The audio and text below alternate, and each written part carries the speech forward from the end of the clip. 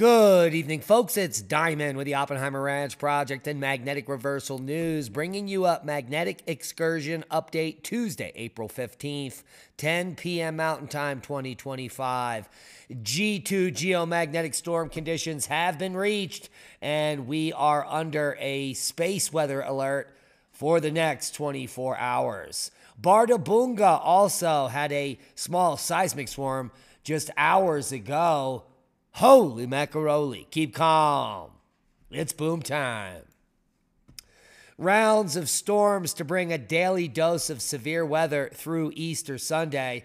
Uh, we're talking multiple rounds of thunderstorms will rattle vast areas of the United States into Easter Sunday, but some packing large hail, high winds, and tornadoes will pose a significant risk to lives and property.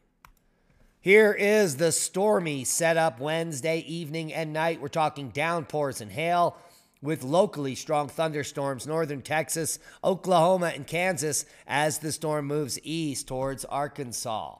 Thursday afternoon and night, Sioux City, Omaha, Des Moines in the center of the crosshairs for severe thunderstorms with large hail, localized damaging winds to 70 mile per hour is gusting, and potentially even higher. The severe thunderstorm threat stretches across the country Friday afternoon and night from Texas all the way up to Detroit with hail, isolated tornadoes, localized damaging wind gusts to 75 miles per hour. And the system lingers around here Saturday afternoon and night from Texas all the way up to Kentucky, looking pretty plucky. AccuWeather Local Storm Max says gusting to 85 is possible. And a storm sends more than 100 lightning strikes over the Sierra Pass on Tuesday. Holy macaroni. Uh, storms over the Sierra Pass on Tuesday afternoon delivered more than 100 lightning strikes in just a few hours. Hours of powers. The storms, including one near Truckee, stayed on to the west and didn't reach Reno. The lightning strikes were part of the first thunderstorms of 2025 for the region, according to the National Weather Service. And the hail map for Monday, April 14th was epic 55,000 plus households impacted by one inch or larger hail, and 8,267 households impacted by gorilla hail in a region of over 12 square miles. And here is the full forecast snow in the Great Lakes, critical fire weather in the southwest and southern plains. Lake effect snow will continue downwind of the lower Great Lakes through Wednesday, with accumulations of 4 to 8 inches possible for portions of upstate New York and the Adirondacks.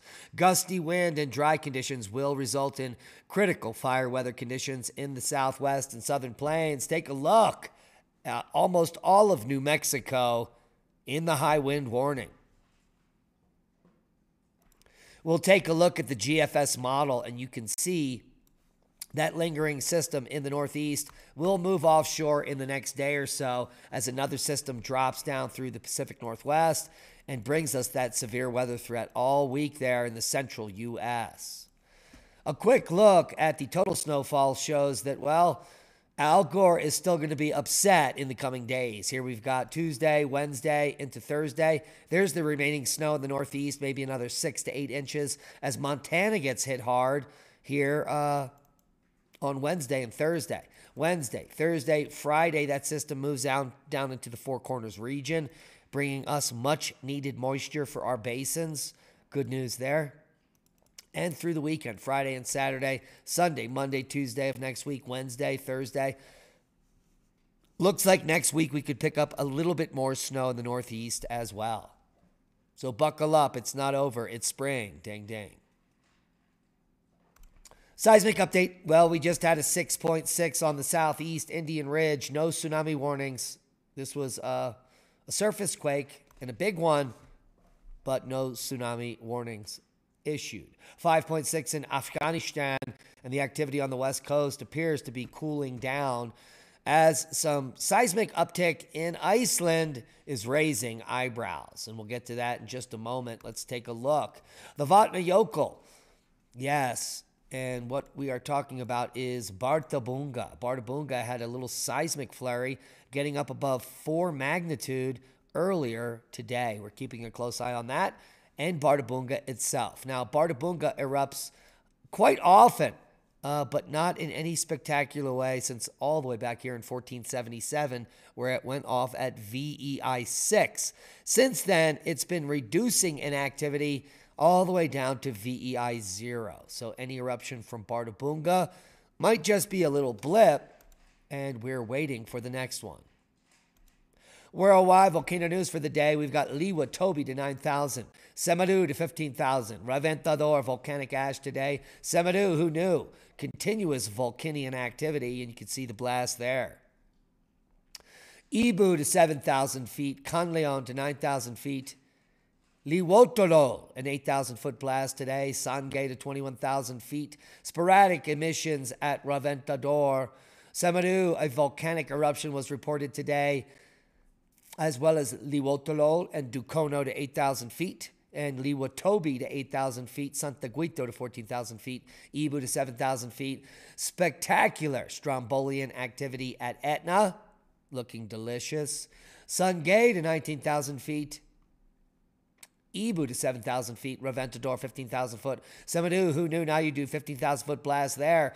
And wrapping up the list is Dukono with an 8,000 foot puff, actually coming on the 16th of April.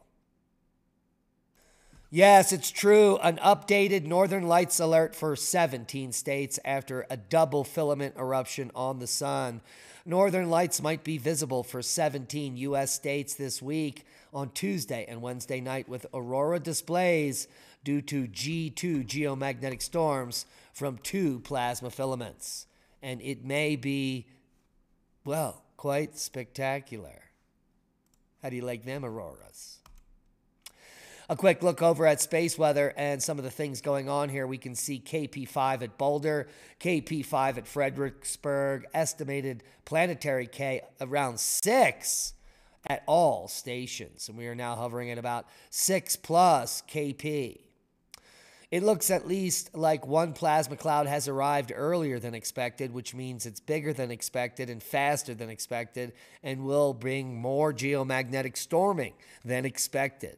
The solar wind speed increased initially from 380 to 500 and has increased up to above 600 now. Plasma density was noted as well. Moderate G2 geomagnetic storm warning was issued for the rest of today with strong G3 storm conditions possible in the next 24 hours. Hours of powers. And this is coming from two plasma filaments that erupted off of the sun just the other day. And well, they are headed our way with a direct hit right there, like swimwear a quick look at telemetry and we will refresh it to see if there's any updates. You can see a spike up, up here all the way almost to 900 kilometers per second. Another spike happening a moment ago near 800 kilometers per second. Density is increasing. And if the BZ pushes further south here, well, we're going to get into G3 geomagnetic storm quite rapidly. So make sure you get out and look up. Let's take a look at the current aurora forecast and it is looking pretty weak currently.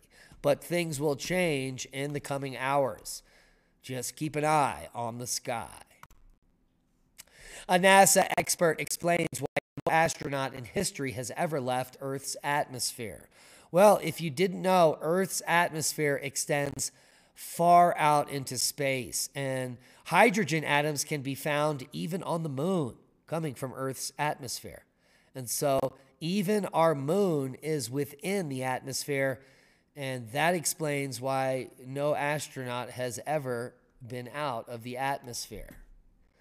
Leah and I will tackle this this weekend on our radio show. Now, tiny details on an animal bone changing what we know about our human ancestors, and it is mind blowing. The first evidence that hominids butchered animals at a site in Romania dates back 1.95 million years old.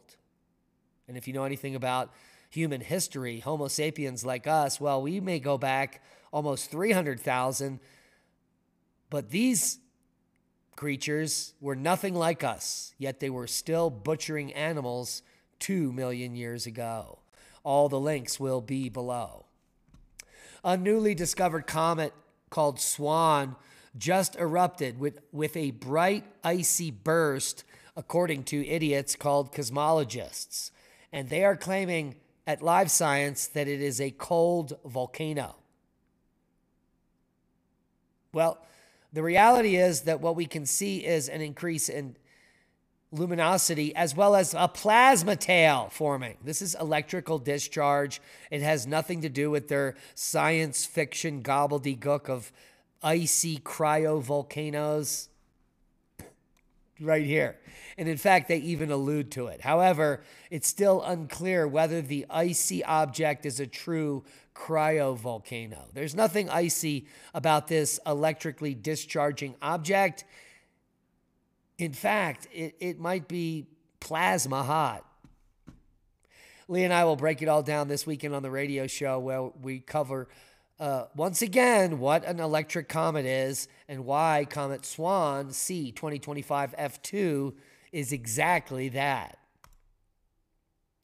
And more garbage coming from the globalists. They don't want you to grow your own food or be self sufficient. And now they're warning you from eating eggs from your back garden or any farm that is not a commercial farm.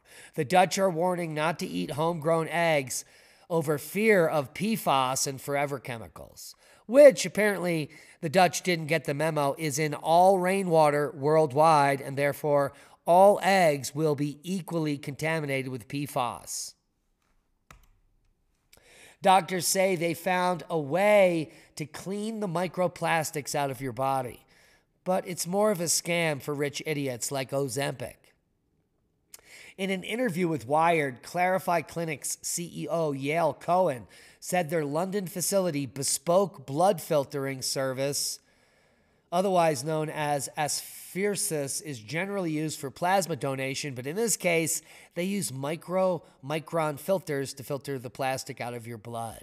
Yeah, it's a scam because most of the microplastics implant themselves into your flesh and stay there forever. It costs $12,000 per session, so rich people are gobbling it up. It's the newest fad. And that's a boom.